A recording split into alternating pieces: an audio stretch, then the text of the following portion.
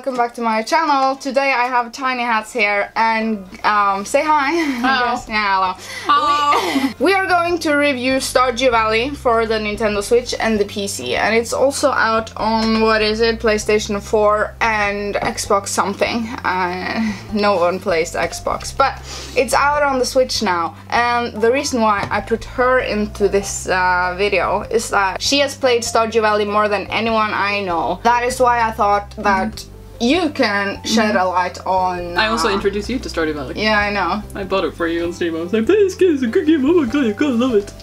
Yeah. Stardew Valley is created by one man, Eric Barone, Concerned Ape. And it was published by Chucklefish, wasn't it? Mm-hmm. So this one man developed this game all by himself because he is uh, a programmer, isn't he? But he did this as a uh, hobby uh, at home, uh, from what I remember reading about it. And he was finished with this game, and then it was on Greenlight, wasn't it?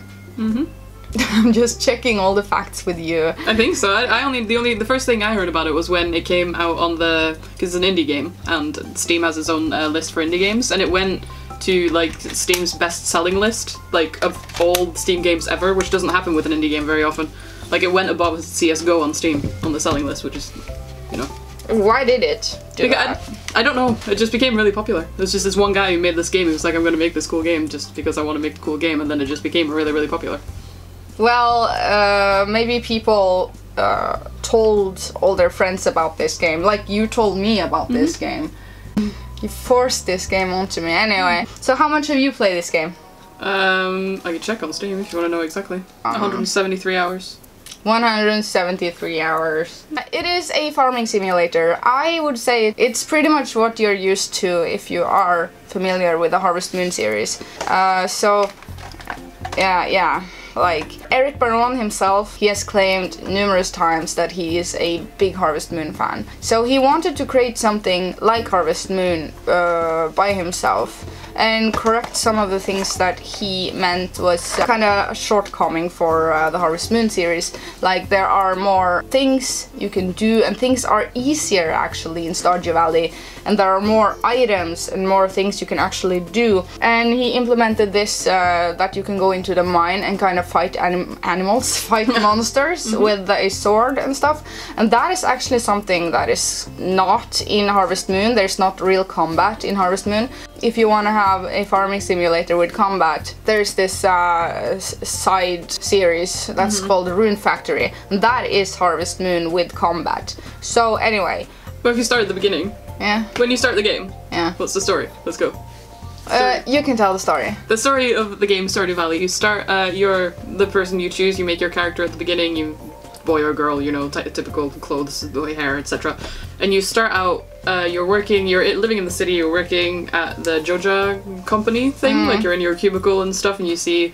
You get this letter from your uh, granddad that you open. He's left his farm for you in Stardew Valley that you can like take over to l- move there and become a farmer. So His most precious gift. Yeah. to his loving grandchild person. So you leave the city and you go to Stardew Valley to find the farm, and the farm is very run down, Yes. beaten down. Uh, it hasn't been uh, taken taken well care of for Mm-hmm. many years. I don't know if the game tells you how many years it's been Mm-hmm. since you lived there, but it's uh, beaten down. So what you get in the beginning of the game, you get a axe and a um, you get the axe, the scythe, the hoe, yeah, hoe, yeah, um, and the pickaxe. pickaxe and the Yeah. watering can. And the watering can, yeah. So uh, you are greeted with uh, villagers from the village uh, early on, and Mayor uh, Lewis. Yeah, yeah. And they tell you that you can clear out your farm and practically do whatever you want. You can make whatever you want out of this farm. You can even enjoy the game and play the game and get married and so without even touching the farm. It's all up to you. You Mm-hmm. can go straight to the mine. No, you have to wait a few days. Few in the game get Yeah, days. there's some tutorial days, yeah, but Yeah. mine opens on like day three. Yeah, four. and then you can just do fighting. I mean, there are choices for you as a player to do Mm-hmm. what you want to do, but of course, I recommend to do everything. Well, the farm is overgrown by trees and rocks and bits of wood and grass and those like bushes that you hammer down with the scythe. Um, and you have to you have some area that you can farm on, the brown area you can farm on. Uh, you can grow um, crops on the brown area, and then the green area is just you know decoration area. Like the farm that you have on the screen right now is the, the wilderness farm, This is the forest farm. the forest farm. Yeah. So you get not you don't get as much brown area. The basic farm, the farm that came when, when the game released, was just brown area everywhere, and there was a tiny lake. you Yeah, just yeah. had like a clean slate. You could do whatever you wanted with giant Th- area. this this uh, these features are new from what I, when I played it on Steam on PC. I didn't play that long. They released a couple of different farm layouts so that you get more you get more grassy areas, you get like a river and you get like, you know, different depending on what farm you pick, you get like a different layout of the world so that you can do more decoration. For people who like, you know, they want to make like a pretty farm, it's not just all brown, you get some grassy areas, you get some rivers, you get some like, you know, decoration. And you can place buildings after a little while. Mm-hmm. Uh, wherever you want on this uh, big farm. The animals that you can have, they are cows, chickens, sheep, and pig. And goats. Pigs. Pigs Yeah. and goats. Yeah, okay. You first you have to gather the materials to build a coop or a barn to keep your sheep or your or your uh, the first um, coop has space for chickens and the first uh, barn has space for cows and then you can expand them to, to fit goats and pigs. Look, I got the cutscene with Lewis. He's opening the um, Community community, center. Can you tell about the community center? The community center is the well, Lewis is telling you about it right now. It's the community center in Stardew Valley that's been run down for um, a long time. Nobody's been taking care of it. Nobody's been, you know, whatever. Um, and they don't know what's happened to it. You go inside it and you find all these uh, little things, these little huts, and like Lewis is like the children must have been playing in here. But it's the what are they called? The Junimos, I think. They're like the magical creatures of the forest that have been like taken care of, or like moved in. They haven't taken care of it, but they've moved in and like taken over it and stuff to like because they're little magical creatures. Uh, but you get the choice if you want to. You can either help the community center and help the people of Stardew Valley to restore the community center. You get bundles of stuff that you have to complete. You have to bring like so and so many crops and like wool and like everything you can gather in the game basically. You have to bring to complete like the bundles in the community center. Or if you join the Joja, if you buy a membership for Joja Mart, they knock down the community center and uh, build a Joja warehouse. Oh, I don't want to do that. No, nobody wants to do that. Have you ever done that? No? I've never done that. Okay. I was going to because I have one save for every uh, farm layout, and on one of them I was going to do the Joja Mart, but I just can't bring myself to do it because the community center is so cute. I know it's so so mean to actually knock down this old Mm-hmm. Yeah. building. I I just want to restore it because Mm-hmm. it what feels right to do. Because it's uh, some sort of backstory to it, isn't it?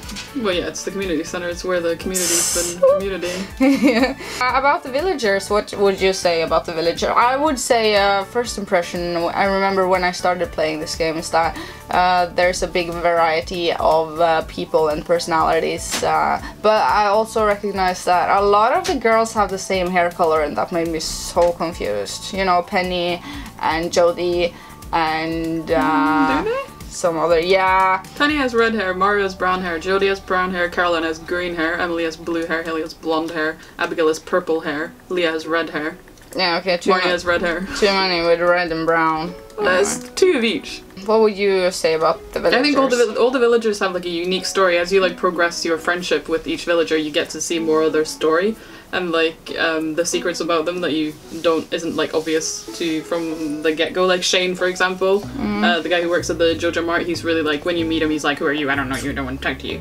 And if you keep giving him gifts and become his friend and stuff, you get to hear like his story about what he wants to do. I'm not going to spoil anything, but like his hopes and dreams in life and whatever. And like they all have something special about them. They're all like unique and you know have different stories. Okay, so the collectibles in this uh, game. Uh, let's talk about the museum. Oh god. There's not really that much to say about the museum. You collect artifacts around the world. That you Where do you find the artifacts? Yeah, you can find them in the mine, or you can dig up the squiggly worms.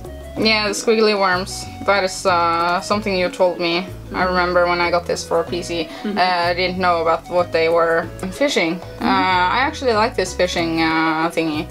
Uh, it is kind of hard in the beginning. That is what you said earlier today. You said, Yeah. oh, it's so hard in the beginning and then it gets easier. Yeah, easier. it gets easier the more skill you get. and you feel like it should have been the other way around. it should have been the other way around, so that you get more challenge. The more you do it, it should be more and more challenging instead of easier and easier. Because what's the point in doing it if it doesn't get more difficult? I, I like that it gets more easier because um hashtag I don't even like challenges in video games. It just becomes grindy when it's too easy, though. You just fish and it's so boring. You just let. Okay, so the bachelors and the bachelorettes, which are your favorites? Which one do you marry the most? Well, I've married different people in all my saves, but the first one I married was Sam. I think. Yeah. Yeah, I tried to marry Sam because Sam was he's, uh, he's a pretty boy. Uh, I've married Sam, Sebastian, Haley, Harvey and Abigail, I think. Harvey, actually. Yeah, he was new. He wasn't always a dateable character. He when the game came out, you couldn't date Harvey, but uh, Emily and Harvey were added as uh, dateable characters. Nice. Okay. Which is totally sad because if you marry Emily, Clint will be super sad because Clint is in love with Emily, and he's always trying to get her attention, but he's too shy and it's so sad. I'm gonna try and marry Elliot this time around, I think. Yeah. The villagers, they have uh, plenty of good backstories, and you increase their, your friendship level with them in order to get these cutscenes, just like you would in any Harvest Moon game, actually. So uh, a lot of similarities are drawn with this game to Harvest Moon, but a lot of people in the community, not in the community center, but in the community, uh, Harvest Moon-ish, they say that this is uh, everything Harvest Moon It's Harvest Moon but improved. yeah, yeah. People say that it's like an improved uh, version of Harvest Moon and what they already like and know with Harvest Moon, but uh, a lot of things are improved, like this thing with the mine. And uh, so, are there any main objectives in this game? Would you say? Well, the- there is this three-year rule thingy. Your There's, there's a main story, but you can't. I can't really talk about it without spoiling it. Yeah, no spoilers. You get quests. You Yeah. get like actual a list of quests. Do this and do this and do this, and you can pick up quests uh, on the the board in town. Um, you will see it. So that way, if you like to have some sort of mission and objective, there are a lot of them. You can collect hats in this game and furniture in your house. You can customize like everything. Uh, have we missed out on something now? Seasons. Well, there's seasons, and don't grow uh, spring crops in summer, and they will wither and die when there's a new season. Uh, there are birthdays, and you can see the birthdays on the calendar. And if you give uh, the birthday man or girl a good gift, the affection value of that gift will triple if you give it on their birthday. That is also something from Harvest Moon. Um, yeah. I like uh, the Switch version a lot more than the PC version because I am more of a console gamer than a PC gamer. But that is because I have a laptop and I sit awkwardly with my uh, laptop. And I also feel like my laptop is my workstation. That is where I edit the videos for so many hours every single week. So when I want to play games, I don't know if this is uh, if this is something even to mention, but I don't know. I I just like to play consoles a lot more, and um, I can play this in bed. I always say that, but I like to play in bed. Lol. Okay, so the final verdict with this game, what would you say? Would give it? Would you rate it? No. how's the music? Söta. Music is söta. Söta. I like the music. We were in town today and I was humming this music like loudly. She was at the dentist office and uh, the music is very um, memorable, isn't it? Mm, yeah, it, it's, it gets stuck, You get into stuck in your yeah. head. Yeah. So uh, it's good. Very good. I think it's good. The graphics are really nice for pixel um, for a pixel game. This is a pixel game, and one man has created every single pixel in the entire game. That is so cool. And I think he he uh, spent five years of his life creating this game. Isn't that correct? Pass. Pass. Okay. I, I don't know. I think so. Uh, I would think so because there's a lot of work that has to be put down in this game. I recommend everyone to download this game because uh, it's fairly very cheap. Ja, fan eller. It's fairly very cheap. Uh, är 100 kronor. Uh-huh. You Ooh, we have forgotten something. Multiplayer comes out Yeah. next year. They're releasing multiplayer for Stardew Valley. Um, Will that be on console and PC? I assume so. Yeah, I- I assume so, too. So Yeah. you can get um, because I remember I read the article about it. They've made it so that you can make hire a farm helper to come to your farm. They get their own little hut and stuff, and you can play the game together. You can both go.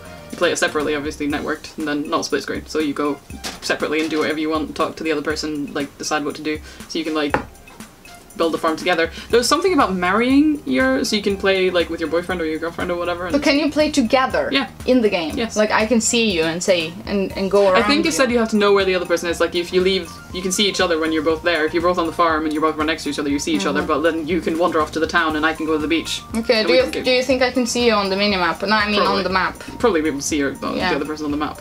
And then you can chat with them obviously and be like. But there's I'm going no, to the beach uh, to collect seashells. See you later. There's no split screen, same room. I don't think so.